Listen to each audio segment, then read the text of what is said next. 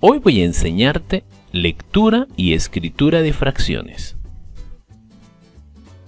Así que para comenzar, pon pausa a este video, trae tu cuaderno, lápiz, borrador, sacapunta y regla. Y luego copia en tu cuaderno estas primeras tres fracciones. Si ya lo has hecho, ahora quiero que anotes a su lado el nombre de cada una de las fracciones si es que te acuerdas. Si ya lo has hecho o simplemente no te acuerdas, la, voy a anotar yo los nombres para que verifiques si lo hiciste bien o para que recuerdes lo que hemos aprendido en un video anterior. Esta fracción se llama un tercio. Siempre que el número 3 esté debajo se lee tercio. Y como arriba está el número 1, por eso se lee un tercio. Ese es su nombre.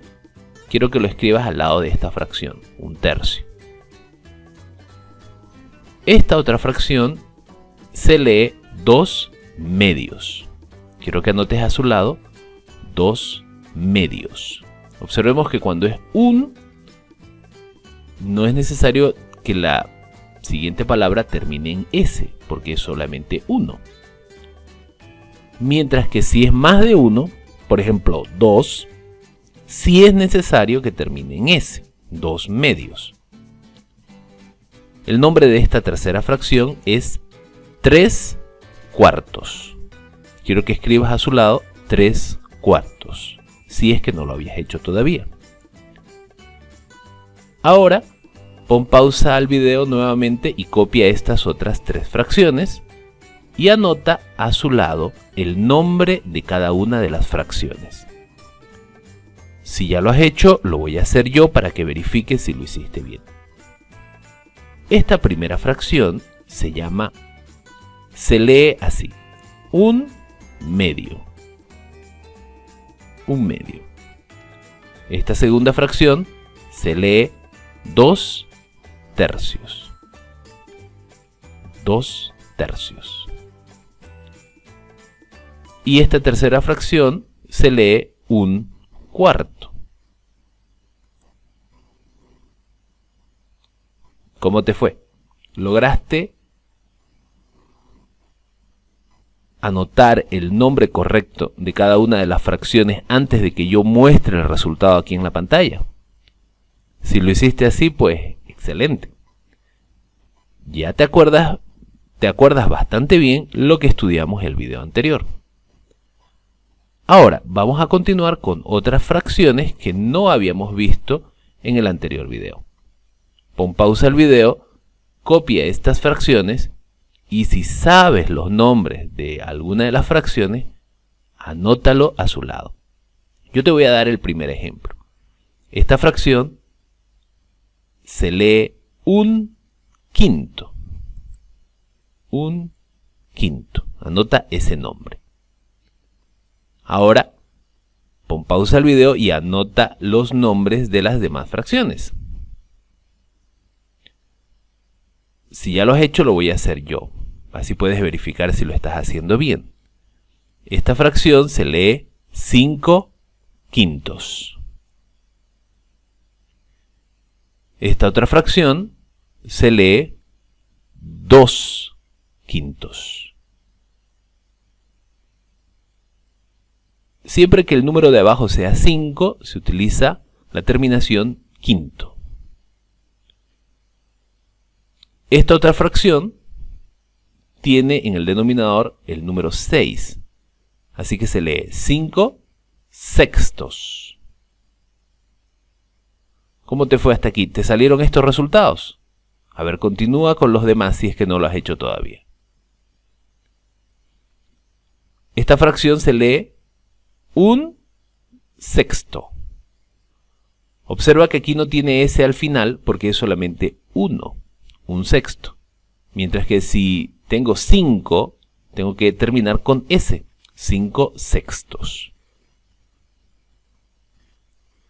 Esta otra fracción se lee 3 sextos. ¿Qué tal? ¿Cómo te ha ido? Lograste poner los nombres correctos a cada una de las fracciones. Si así fue, pues excelente. Pon pausa al video y escribe estas otras fracciones y coloca a su lado el nombre de cada una de las fracciones. Si ya lo has hecho, voy a anotar yo los nombres para que verifique si lo has hecho correctamente. Esta fracción es 3 tercios. 4 quintos. 2 cuartos. Un medio. Dos quintos. Cuatro sextos. ¿Cómo te fue? ¿Lograste anotar todos estos resultados de la misma manera como yo los anoté antes de que yo los resuelva? Si lo hiciste así, pues felicidades. Vamos a continuar realizando ahora más ejercicios, un poco diferentes. Porque aquí terminen 7. No hemos hecho hasta ahora ningún ejercicio que tenga... ¿Por qué en el denominador tengo 7? Hasta ahora no hemos hecho ningún ejercicio que en el denominador tenga el número 7. Entonces, esta fracción se lee un séptimo. Por favor, pon pausa al video y anota los nombres de todas las demás fracciones. Si ya lo has hecho, te muestro los resultados. Esta fracción se lee 4 séptimos. Esta otra fracción se lee 5 séptimos. Esta fracción se lee 3 octavos. ¿Qué tal te fue hasta aquí? ¿Lograste poner estos resultados antes de que yo lo haga? Si fue así, pues excelente. Si todavía no has puesto los nombres de estas otras fracciones, por favor pon pausa al video y escribe los nombres. Esta fracción se lee un octavo. Siempre que esté el número 8 en el denominador se lee octavo, en el caso de que sea solo 1, y octavos en el caso de que sea más de 1. Esta otra fracción se lee 2 octavos.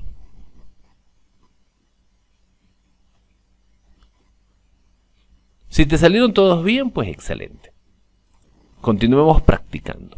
Pon pausa el video y Escribe el nombre de cada una de estas fracciones. Copia todas estas fracciones en tu cuaderno y luego a su lado escribe cuál es su nombre. Si ya lo has hecho, ahora lo voy a hacer yo. Esta fracción se lee 2 quintos. Esta fracción se lee un cuarto. 3 séptimos 5 octavos, 2 sextos, 1 tercio. Y ya está. Tenemos los nombres de todas las fracciones. Si te salieron estos nombres, pues felicidades. Ya dominas este tema prácticamente. Ahora vamos a hacer el ejercicio un poquito más difícil. Ahora en lugar de escribir la fracción, solamente te voy a dar el dibujo. Y tú tienes que escribir aquí la fracción y al lado el nombre de la fracción. Para que no tengas que utilizar tu cuaderno, lo que puedes hacer es sacar una captura de pantalla y luego anotar en este espacio en blanco la fracción y a su lado el nombre. O si no quieres hacerlo en la pantalla de tu dispositivo, de tu celular o de tu computadora, puedes dibujarlo en tu cuaderno y luego anotar la fracción y su nombre. Si ya lo has hecho, lo voy a hacer yo. En esta, en esta gráfica, en este dibujo, tenemos un chocolate. Puede ser cualquier otro objeto, pero lo importante es que está dividido en seis partes. Sabemos que son seis partes porque aquí tenemos una, dos, tres, cuatro, cinco, seis partes. De esas seis partes, tres están pintadas. La cantidad de partes pintadas se anota en el numerador, 3. Y en el denominador se anota el número total de partes, que como ya dijimos son 6.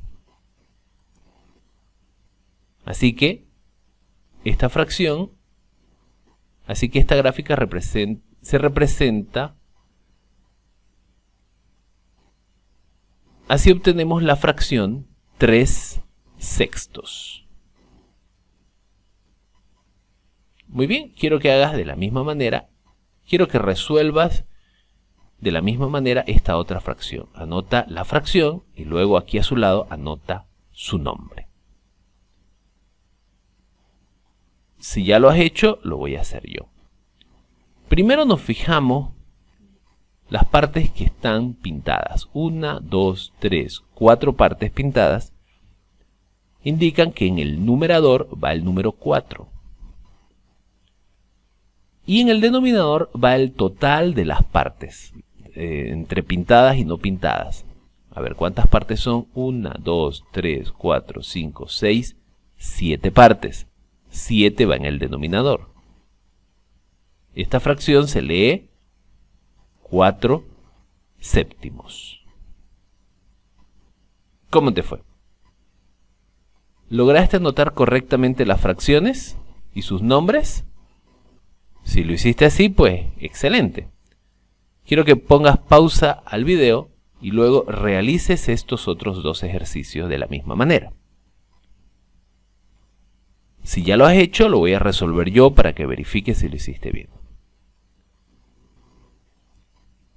En este primer ejercicio, en el numerador va el número 5, porque son 5 partes pintadas. 1, 2, 3, 4, 5. Y en el denominador va 6, porque en total son 6 partes. 1, 2, 3, 4, 5, 6. 6 partes. El nombre de esta fracción es 5 sextos. 5 sextos. Tienes que anotar la fracción y también el nombre. Hiciste Anotaste esta fracción y este nombre antes de que yo lo anote aquí en la pantalla. Si lo hiciste así, pues excelente. Ahora anota esta otra fracción y su nombre. Pon pausa al video para que tengas un poco más de tiempo. Si ya lo has hecho, voy a anotar yo la fracción. En el numerador voy a anotar 2. Voy a anotar 2 porque solo hay dos partes pintadas. Y en el denominador voy a anotar 7.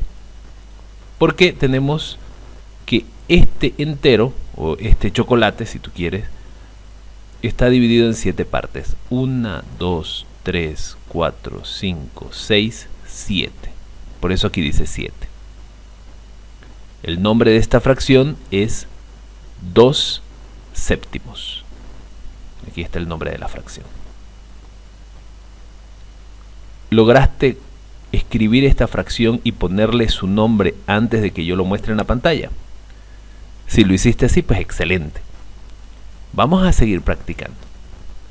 Pon pausa al video y escribe la fracción y su nombre. Si quieres puedes dibujarlo en tu cuaderno y al lado escribir la fracción y su nombre o si lo prefieres puedes sacar una captura de pantalla y luego en esa captura escribir la fracción y el nombre de la fracción. Si ya lo has hecho, te voy a dar el resultado.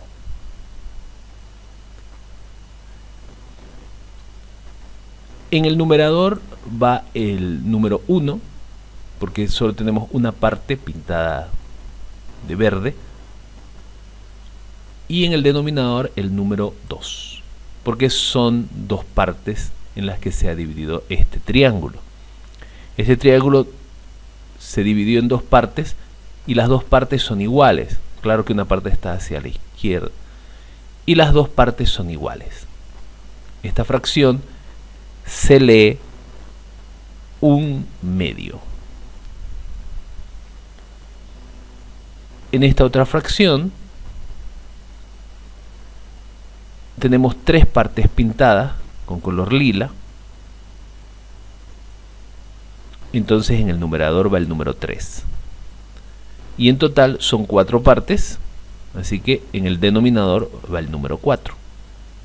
Esta fracción se lee 3 cuartos. ¿Cómo te fue? ¿Lograste escribir la fracción y su nombre en cada caso antes de que yo muestre los resultados? Si fue así, pues excelente. Continuemos practicando. Vuelve a sacar una captura de pantalla y escribe la fracción y su nombre en cada una que corresponde con cada una de estas gráficas. O si lo prefieres, puedes hacer el dibujo en tu cuaderno. Claro que si en tu cuaderno vas a hacer un dibujo de un círculo, pues necesitarás también un compás para hacer el círculo y dividirlo en partes iguales. Eso puede ser un poquito más difícil para dividir en partes iguales un círculo. Lo primero que se puede hacer es hacer una línea vertical. Lo primero que se puede hacer es una línea horizontal y una línea vertical y luego tratar de dividir con la regla en dos partes iguales. Pon pausa al video y escribe las fracciones y sus nombres si ya lo has hecho, ahora yo te voy a mostrar los resultados para ver si lo hiciste bien. En este primer ejercicio existen 1, 2, 3, 4, 5, 6 partes pintadas. Así que en el numerador irá el número 6. En el denominador va el número total de partes, que serán 8 partes. Ya habíamos dicho que pintadas hay 6 partes, más las dos partes que no están pintadas, suman 8 partes. Suman 8 partes. Esta fracción se lee 6 octavos. En este otro ejemplo se tienen dos partes pintadas y en total son 4 partes. Esta fracción se lee 2 cuartos. ¿Te salieron estos resultados antes de que yo los muestre en la pantalla? Si fue así, pues excelente. Pon pausa al video y escribe la fracción y su nombre en cada uno de estos dos ejercicios. Si ya lo has hecho, te voy a dar los resultados. Tenemos aquí tres partes pintadas. Una, dos, tres partes. Entonces, en el numerador se anota el número 3. En total existen ¿cuántas partes? 8 partes. Podemos contar 1, 2, 3, 4, 5, 6, 7, 8 partes. Por eso en el denominador va el número 8. Esta fracción se lee 3 octavos. En este otro ejemplo, nosotros tenemos una parte pintada, así que anoto 1 en el numerador y en total son cuatro partes. Así que anoto 4 en el denominador. Esta fracción se lee un cuarto.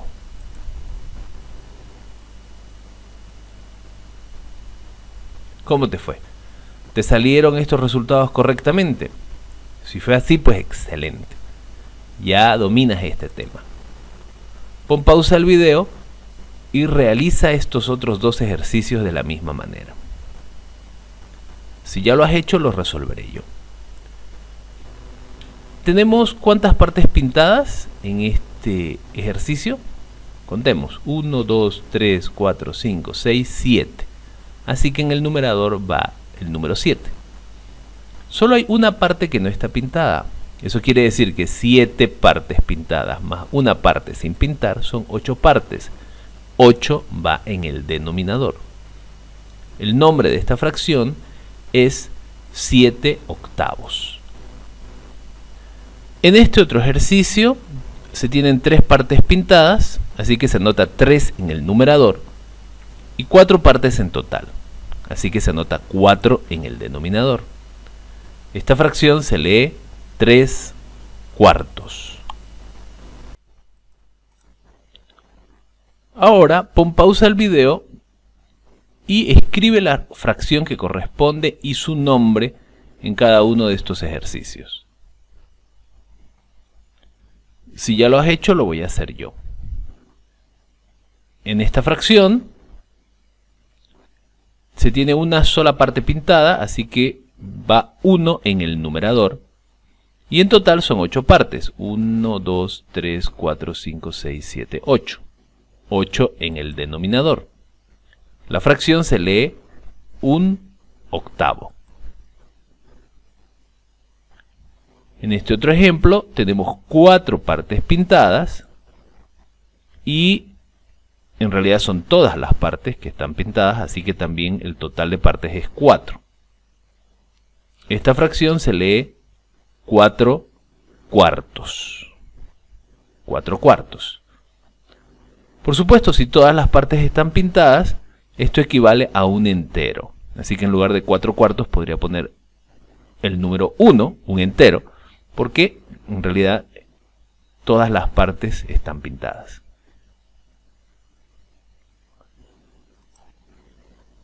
Pon pausa al video y resuelve este otro ejercicio. Observa que aquí hay tres fracciones y un color al lado de cada fracción. Estas tres fracciones están basadas en este círculo. Este círculo tiene los mismos colores, rojo, amarillo y azul. Lo que hay que hacer es anotar qué parte del círculo es rojo, qué fracción del círculo es rojo, qué fracción del círculo es amarillo y qué fracción del círculo es azul. Pon pausa al video y resuelve el ejercicio. Si ya lo ha resuelto, lo voy a hacer yo. Vamos a empezar con el color rojo. Existen cuatro partes rojas. Una, dos, tres, cuatro partes rojas cuatro partes pintadas con color rojo, así que en el numerador va el número 4. En total son 8 partes, 1, 2, 3, 4, 5, 6, 7, 8 partes. Por lo tanto, en el denominador se anota el número 8. Esta fracción se lee 8 octavos. En este otro ejemplo Ahora vamos a analizar las partes que están pintadas de color amarillo. Hay solo una parte pintada de color amarillo, así que en el numerador va el número 1. Y como ya dijimos que está dividido en 8 partes, va 8 en el denominador. Las partes azules son 3. 1, 2, 3. 3 en el numerador y 8 en el denominador. Esta fracción se lee un octavo y esta otra fracción se lee tres octavos. Y así queda resuelto este ejercicio. ¿Cómo te fue?